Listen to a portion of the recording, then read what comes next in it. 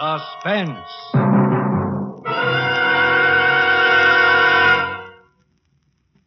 In hotels, restaurants, and homes of distinction, wherever hospitality is a gracious art, the best serve C R E S T A B L A N C A. Cresta Blanca. Cresta Blanca. Yes, the famous name of Cresta Blanca is a symbol of good taste wherever distinguished people gather. When you serve superb Cresta Blanca California wines, you pay guests the truest compliment a host can offer. Distinguish your dinner table by serving Cresta Blanca Burgundy or Cresta Blanca Sauterne, yours to enjoy for gracious dining. Schenley's Cresta Blanca Wine Company, Livermore, California.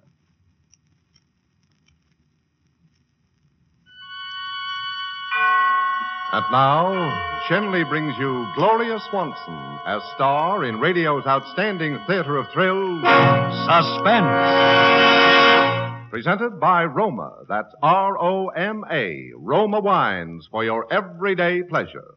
Tonight, Roma Wines of Fresno, California bring you Gloria Swanson in Murder by the Book, a suspense play produced, edited, and directed for Schenley by William Spier for Suspense.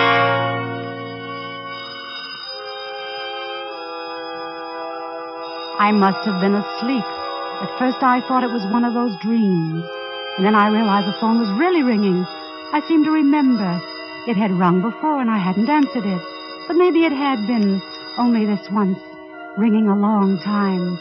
Because just as I got there, it stopped. Hello? Hello? I suppose I'd had one of my spells. I never could remember very well just after them, but I know I've been working or trying to. It was my latest, and I thought it would be my best. It was about a woman who kills her husband. But I'd had all kinds of trouble with the end. Everything was all right up until the explanation, how she did it. I knew, of course, but somehow I just couldn't write it. It, it wouldn't gel. It had been going on like that for some weeks. Then today I, I must have had another spell. I've been having them ever since the accident, ever since Ned was drowned. They'd begin with headaches. It would get worse and worse, and I'd lie down. And when I'd wake up, I wouldn't remember for a while. Sometimes when I woke up, I wouldn't even be in the same place. Instead of lying on the couch or on my bed, I'd, I'd be sitting up in a chair or at my typewriter. Once I even found myself sitting in a car out in the garage. It was a strain of everything, of course. That's why I'd started going to Dr. Winter. And now it seemed as though my poor nerves were fated, one shock after another. Because now, Dr. Winter was dead. You see, he'd been murdered.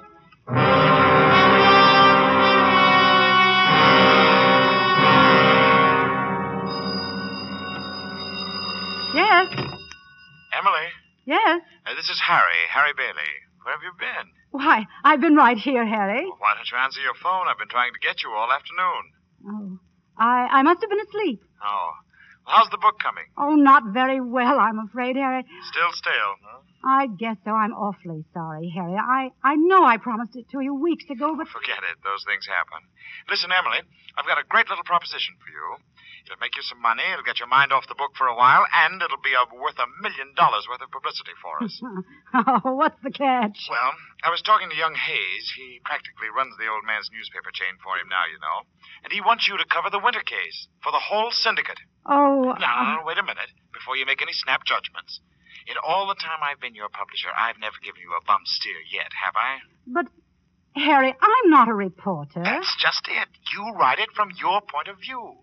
The way it looks to the country's foremost woman detective story writer. The clues, the evidence, how it all fits together. Truth is stranger than fiction and so on. You see what I mean? Well, oh, I don't know. You see, I was a, I was a patient of his, Harry. All right, all the better. Famous man murdered in small resort town. Just so happens famous woman mystery writer lived in same small town. Even was murdered man's patient. Knows everybody by their first names, and so forth and so on. Emily, this will put your name in headlines in every city in the country. I know that's the trouble. Oh, you see, Well, what will Cora say? Well, why? What's it to Cora? Well, I'll grant you she may have had a slightly exaggerated idea of his importance, but after all, she was his man Friday for the past year. And now to have her own mother, mm, stepmother anyway, writing it all up in the papers and making capital out of it. Oh, I... don't be silly, Emily. Somebody's got to write it, and you'll do it with sympathy and honesty and understanding. What's the greatest thing that could happen as far as getting a, a fair break in the papers is concerned? And it's a chance in a lifetime for you, Emily, no kidding. Oh, I'd like to. Uh, as I say. Hmm. All right, Harry, I'll do it. I Had a girl. Now listen, I'll have Hayes draw up the contracts right away. Anything you say, Harry. Swell. I'll be in touch. Night now. Good night, Harry. Hello, Mother. Hello, darling. Who was that? Harry Bailey. He wants me to cover the Winter case for the Hayes Syndicate. He what? I told him I would. Oh, Mother. Oh, Mother, how could you? Why not, Cora? Because. Because it's bad enough that he's dead without dragging it through the papers all over again. But it will be in the papers anyway, darling. And as Harry says, it, at least I can give it sympathy and understanding. Sympathy and understanding. Why, Cora. Please, Mother, please don't do it. Stay out of it. We'll only get more heartaches out of it, that's all. Why, Cora? Why, you almost sound as though you were afraid. Are you afraid of anything? Afraid? All right, then maybe I am. Maybe that's just what I am. Afraid.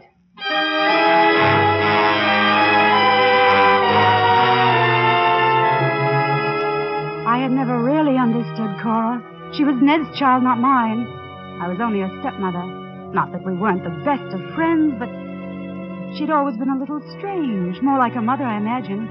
And then the shock of losing Ned, and, and this on top of it. There were times when she seemed almost in a daze.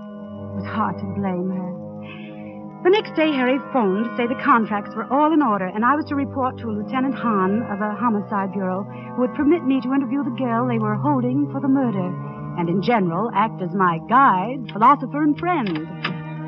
But upon appearing at his office, I found a gentleman with his hat on his head and his feet on his desk, who didn't bother to remove either, and uh, merely stared at me. Something? I'm Emily uh, Carlyle. Uh, I was told to report to you. You're Lieutenant Hahn? Uh huh. I was told that you would sort of uh, show me the ropes. Mm hmm. Uh, I deduce from your attitude that you are not particularly pleased by the prospect. I cannot tell a lie. You deduce right. Well, isn't this nice? We're not going to get along. Oh, I wouldn't say that, Miss Carlyle, or is it Mrs.? Miss, my married name is uh, Wales. I was married to Ned Wales, you know. Ah. Suppose we clear the air a little, Lieutenant. I take it the barrier between us is the old one of professional versus amateur, dealer in fact versus dealer in fiction, and uh, you disapprove of uh, fiction. No, I got nothing against detective stories or detective story writers. I even read 'em myself once in a while for laughs. Well, that is encouraging. Uh, what? To find that you can not only read, but laugh. Okay. Then uh, just what is the difficulty, Lieutenant?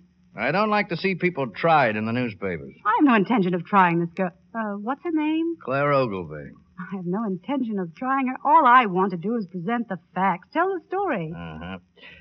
Well, I guess you want to see her, don't you? Among other things, yes. Unless, of course, you have something better to do. Oh, no, no. You're my assignment from now on. I'm in the doghouse. Well, I can think of uh, less appropriate places. Okay. Why? Uh, this is a big case. National sensation, special prosecutors, hullabaloo in the papers, special feature writers like you. Yes? And I'm in a minority of one around here, so nobody likes me. Stop being cryptic, Lieutenant. Uh, what are you driving at? They got a big thing on their hands and they want a conviction. I don't agree. About what? About the girl. You see, uh, I think she's innocent.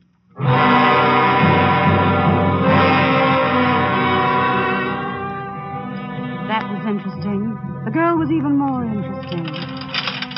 She was about 25, a pretty girl, and she was lying on her bunk in the cell, staring up at the one dim light in the ceiling. She didn't even look around when I came in. This is Miss Emily Carlyle, the writer, Claire. She wants to talk to you. Uh, I'll be back after a while, Miss Carlyle. Go away. Leave me alone. I can't, Clara. I have a job to do. That makes you different, I suppose. No, but I still have a job to do. That's what they all say. They've got a job to do. On me. Who's trying to do a job on you, Claire? A lot of smart people who make their living at it, like you. You mean that uh, they're trying to say that you killed him and uh, you didn't? I loved him, you fool. Why would I kill him? Why would I kill him? Why did you confess to killing him? He was dead, wasn't he? What difference did it make? That's what they wanted me to say, so what difference did it make? Then you didn't kill him. All right. I killed him. That's what you want me to say, too. All right, I killed him. I don't want you to say anything, dear. I, just want to know what happened. He was killed. Murdered. That's what happened. They uh, they say you quarreled with him. I dug my nails into him. I wanted to hurt him. There was blood on my dress, and so I burned it, and they found that. Then when I heard what had happened, I ran away, and they found me. Oh, they've got everything fixed just fine. I had a job to do, that's all, and they did it. And the sooner they get it over with, the better, and then everybody will be happy. Maybe even me. Why did you quarrel with him? Have you ever been in love with some man, and then one fine day you found out you were just the last of a long list of other women?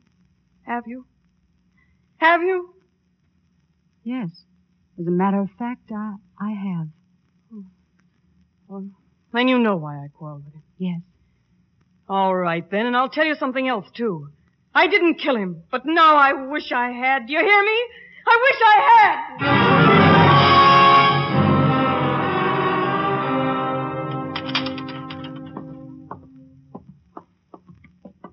Well, I I suppose she told you she killed him and you believed it. First she said she had killed him, and then she said she hadn't. You didn't answer the second part.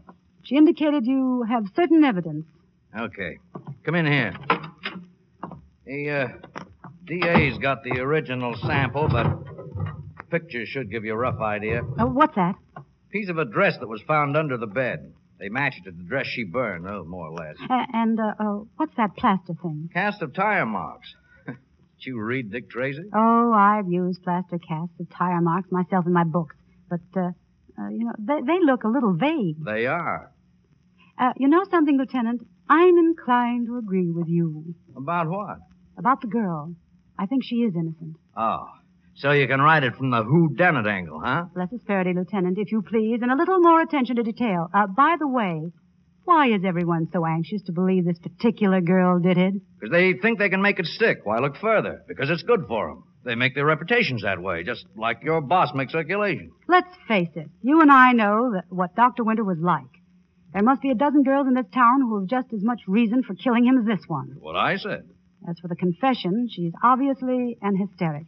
Any good alienist could break that down. Oh, said that too. And as for this stuff, I don't know much about tires, but this dress pattern is as common as a cotton handkerchief. There must be 50 of them within a mile of where we're standing right now. Same goes for the tires. I've told them all that. Then there must be something wrong with your methods, Lieutenant. Now, what do we deduce from all this? I'll tell you what I deduce. What? There's a woman who's killed a man in this town, a murderess. A murderess that's still on the loose.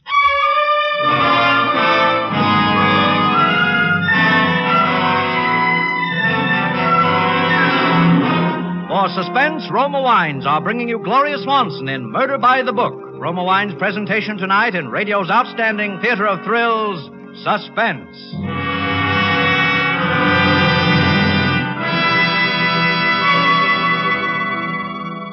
Suspense, radio's outstanding theater of thrills, is presented by Roma. That's R O M A, Roma Wines. Those better tasting wines from the world's largest reserves of fine wines. Vacation time is in full swing, and that means more time for baseball, tennis, golf, fishing, gardening. Whatever form of recreation you choose, here's a delightful way to cool off and refresh yourself. Just serve a tall, cool Roma wine and soda.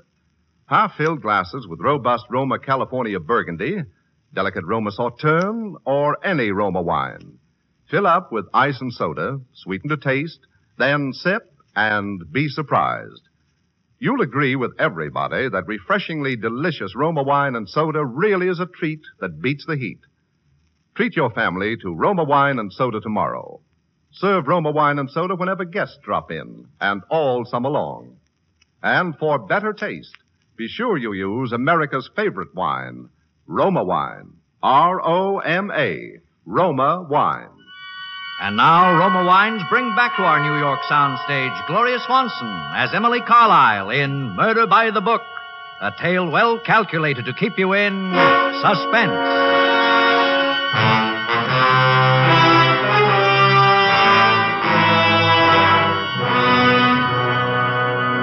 At first, I was quite excited about the whole thing, about covering a murder case, I mean. It was good for me. It took my mind off myself. The book I should have been finishing and couldn't. And poor Ned, being drowned last summer. That had been more of a strain than I even realized. I knew that now. Not that I was terribly fond of Ned, but we had been as close as we ever were. Not just as close, perhaps, but it had been a shock. That's why I'd been going uh, going to Dr. Winter myself.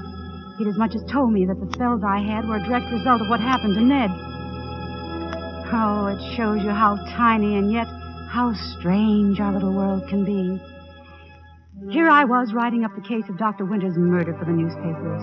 Of course, right away I discovered that the evidence against the girl they were holding was all circumstantial, and Lieutenant Hahn got me prints of the pictures, the piece from the dress they said she was wearing, and the tire marks.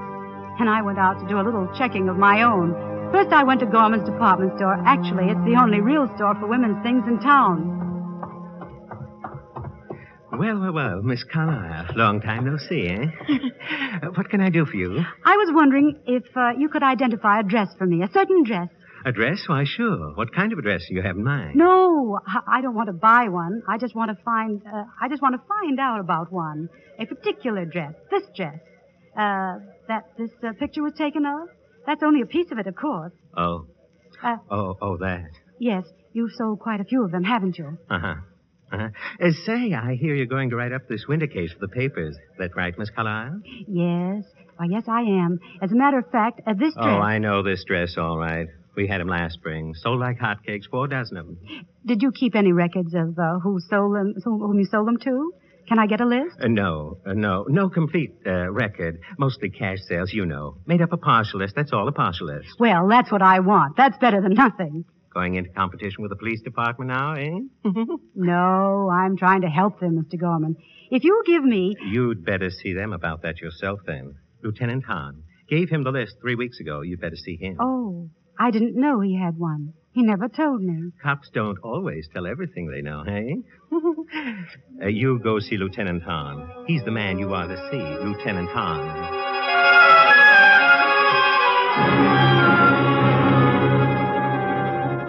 I felt a little silly. Why hadn't he told me? But then, of course, I'd never asked him. My next stop was Morton's big service station on the corner of North and Main. They did practically all the tire business in town. How do, Miss Carlyle? Fill it up? Why, uh, yes, I guess so. But uh, I want to ask you something. Sure, Miss Carlyle. What is it? Well, uh, you see this thing? Huh? It's the imprint of an auto tire, and I wondered. Oh, from the Winter case, huh? The cops was already in here. I uh, heard you was working on the case, if, in a Carlyle. way. And uh, I was trying to find out about this tire. I mean, if... Well, that tire, ma'am, that's a 616 Goodstone. Pretty new, too. You can see from this middle tread here. I don't see how anybody could prove much by this here. do you sell many of these? Uh, what did you call them? 616 Goodstone. Oh, yeah, plenty. That's what I mean. I don't see how you could prove much with that there tire. You find them on all kind of cars. I know, but. Well, uh, look here. You got them on your own car, Miss Carlyle. Same kind, 616 Goodstone. Almost new, too. You see what I mean? Oh, yes. Uh, I see. Yeah, plenty of them kind of tires around. You want that tank of gas now, Miss Carlyle? No, no, thank you. Uh, never mind.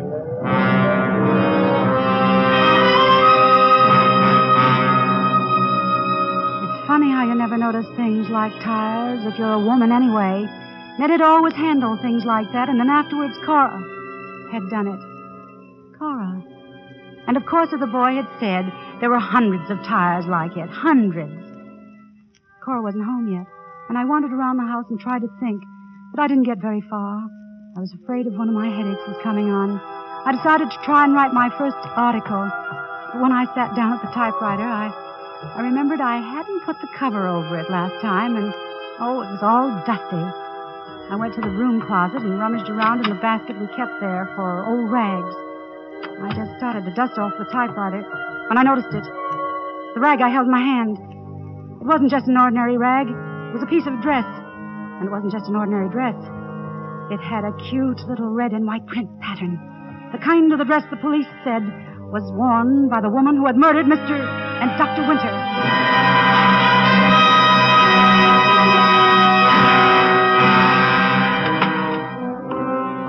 It was then I heard Cora coming in. Instinctively, I thrust the rag in my hand into the desk.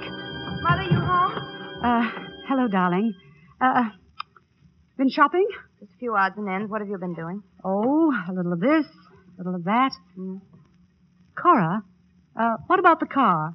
Won't we need new tires pretty soon?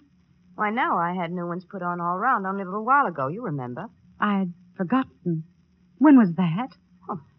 Six weeks ago, anyway. Then it was before Before what? the the murder. Will you stop it? Do you have to go through with this thing, Mother? I think it's better for me to write it than some stranger, don't you? If you wish. But it's so different from what happens in stories.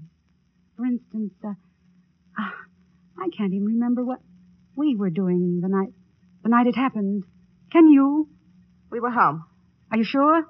Don't you remember? Isn't it silly? You had one of your headaches. Uh, I was in my room. You were in yours. Then I was asleep all evening. I suppose you were. But you don't know. You weren't with me. What a pity. I'll start supper. Uh, oh, Cora, Yes? whatever happened to that old print dress? It was yours, I think. What print dress? You know, with a red and white flower print. You did have one like that, didn't you? I haven't seen it for quite a while. But it couldn't just have disappeared. The last time I saw it, you had it. And then I don't know what happened to it. I had it? Don't you remember? No. Would, would this be it, Cora? Oh. So this has all been a cross examination, has it? There were certain things I had to know, Cora. Well, I won't stand for it, do you hear? You can do anything you like about yourself, but I won't let you drag me into it. I won't. You were in love with him, too, weren't you, Cora? Yes. Yes. Now are you satisfied? Yes, I was in love with him. I was in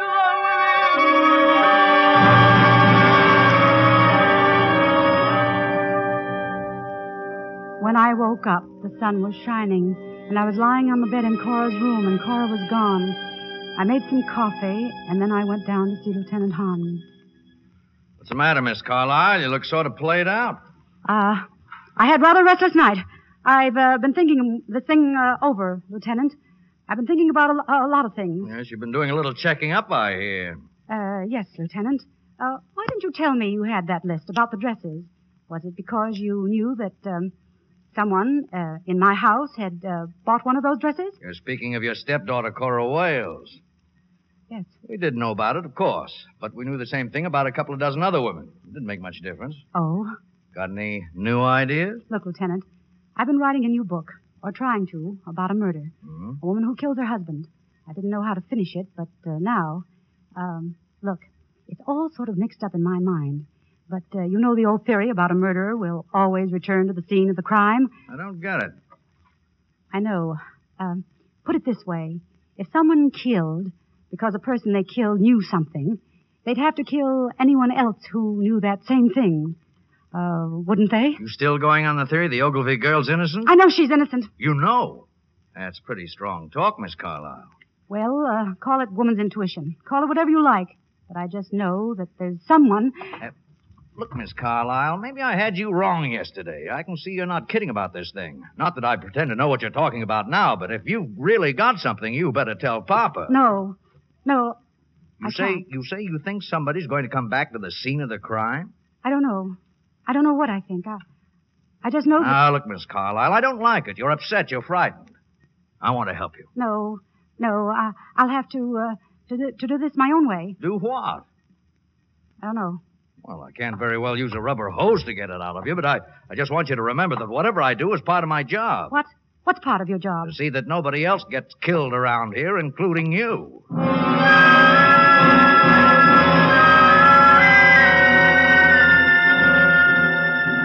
I could feel the headache coming on as I left his office.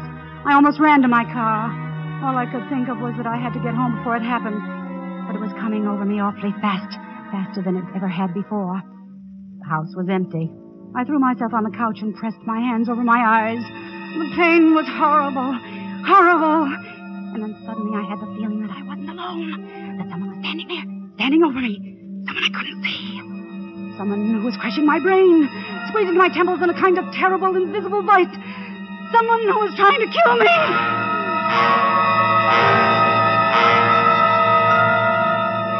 I was having a dream. Another of those horrible dreams. I was dreaming that I had gone upstairs to Cora's room and she was there packing her things. She didn't see me or hear me, and I crept into the room very softly. It seemed as though I had a heavy poker or something in my hand. I crept up very softly behind her. I raised the poker, and then she whirled around. She saw me. You knew it wasn't an accident, didn't you? You knew you didn't. He didn't just drown. You knew I killed your father. I pushed him, and when I went to Dr. Winter, he found out too. Something buried in my subconscious, he said, and he made me tell him. He told you all that, didn't he? So now I'm going to have to kill you too, Cora. I'm going to have to kill you.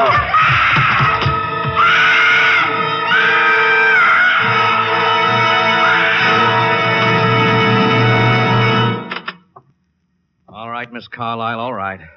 You better come along now.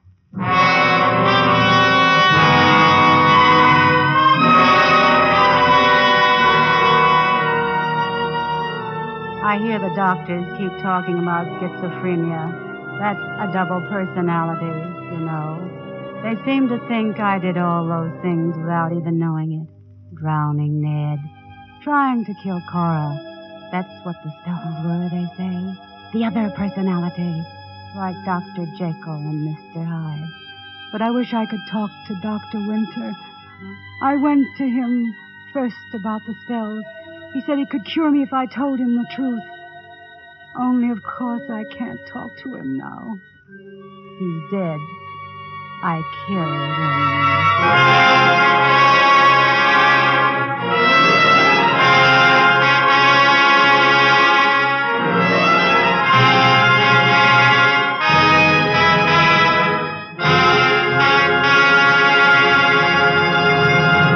In just a moment, we will hear from Gloria Swanson, tonight's star of Suspense.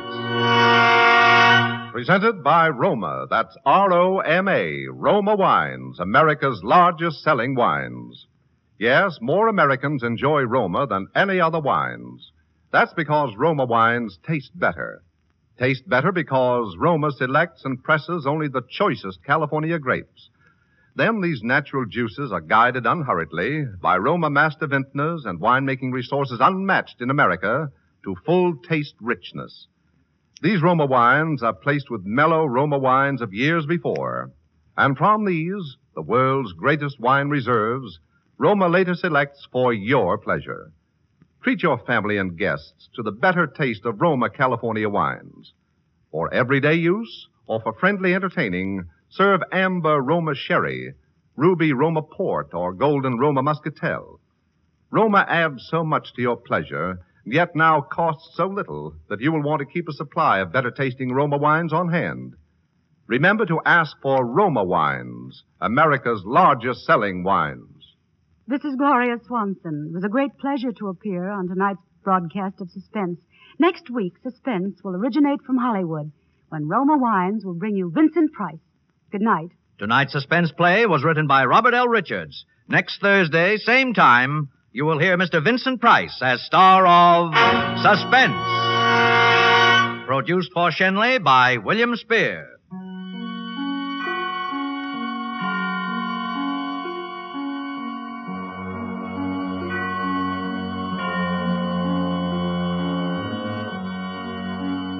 This is CBS, the Columbia Broadcasting System.